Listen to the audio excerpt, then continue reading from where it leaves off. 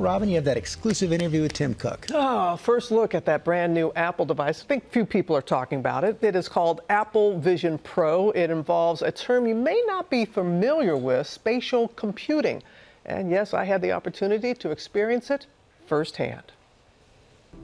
It's the unveiling of Apple's next chapter. Introducing Apple Vision Pro. CEO Tim Cook announcing Apple Vision Pro, their most ambitious product to date.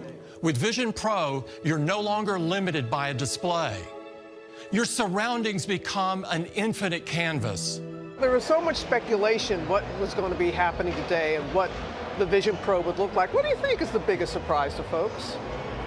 Probably the magnitude of what it does. Yeah. And it'll do anything that your Mac or iPhone can do and more here at Apple Park in Northern California. Oh, yeah. Apple inviting me to experience a firsthand film look at the device. You have complete control over it. Wow. It's emerging and evolving technology that blends digital content with the physical world, controlled primarily by your eyes, hands, and voice. No remote needed. First, an opportunity to transport around the world. Oh, it's like I'm in Oregon, right there. Then coming face to face with in depth memories. I felt like I'm at the birthday party. Moments nearly impossible to fully capture on a 2D screen, like this mindful minute. I would live here. This is why for that alone. Oh my goodness, that was. And I'm someone who meditates, and I found something new in that moment. Giving consumers a new immersive entertainment experience. Oh. and despite all its power, the device surprisingly lightweight.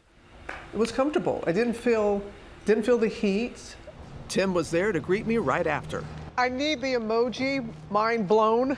this is what you see from me right now. It's beautiful. It's a beautiful object. The real thing, of course, that it does is enable you to see, hear, and interact with digital content right in your physical space as if it's there. That's spatial computing.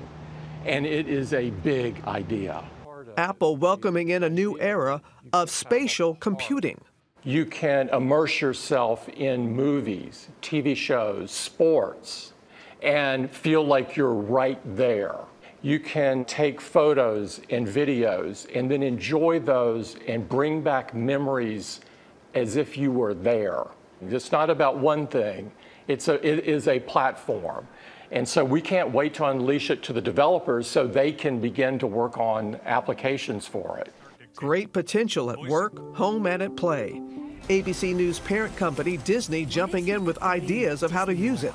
But there are questions. There's some folks who worry about isolation. Yes. That it will cause you to be more isolated. Have you addressed that? It's a major point that, that was a design point of ours from the start. We, this is not about isolation. This is about connection. This is about having people there that feel like they're there with you. When you talk about tech, of course, people want to know how much. It'll cost $34.99 and it'll be available early next year. It's the most advanced piece of electronics equipment out there.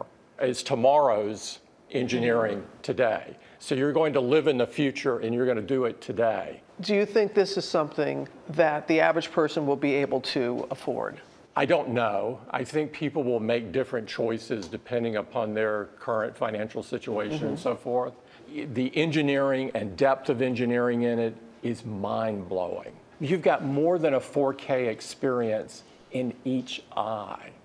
And of course, it doesn't come for free, it, it costs right. something to do that. But I think it's a great value.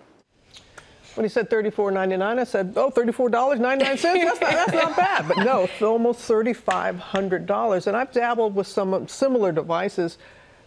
This is a computer. This is totally different from what people are thinking about.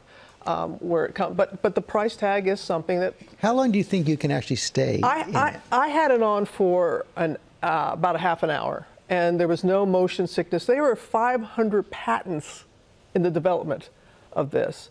And um, you have to have a battery pack, and it lasts for about two hours, a, a few hours, but there was no heat to it at, at all. Mm.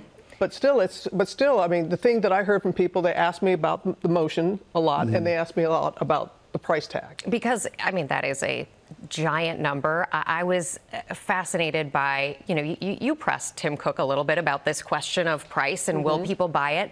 We've seen in the past, I, I wanted to Google this and understand it. I, I found that the uh, first cell phone, that brick that people might remember, there it is. Oh, yeah. Thank you so much, Ross, uh, in the control room. That brick, originally when it came out in 1984, was $4,000. That would have been $11,000 in today's money.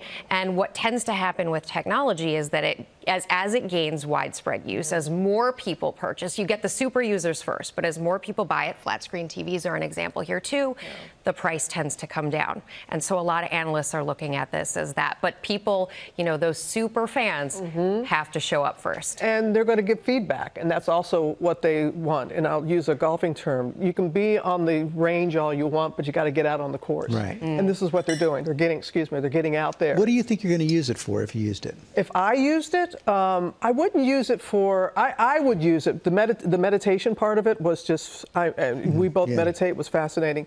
The immersion, because I'm away from my family, to be able to actually feel like if some can't come to the wedding, to be able to tape that and they can feel like they're there. interesting. Yeah, but uh, I, but it's it's it, it was an incredible experience uh, with all that I saw, and I, I kept thinking about the endless possibilities and opportunities for this technology.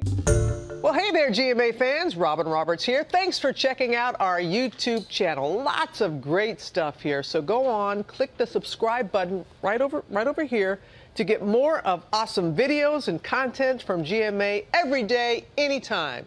We thank you for watching, and we'll see you in the morning on GMA.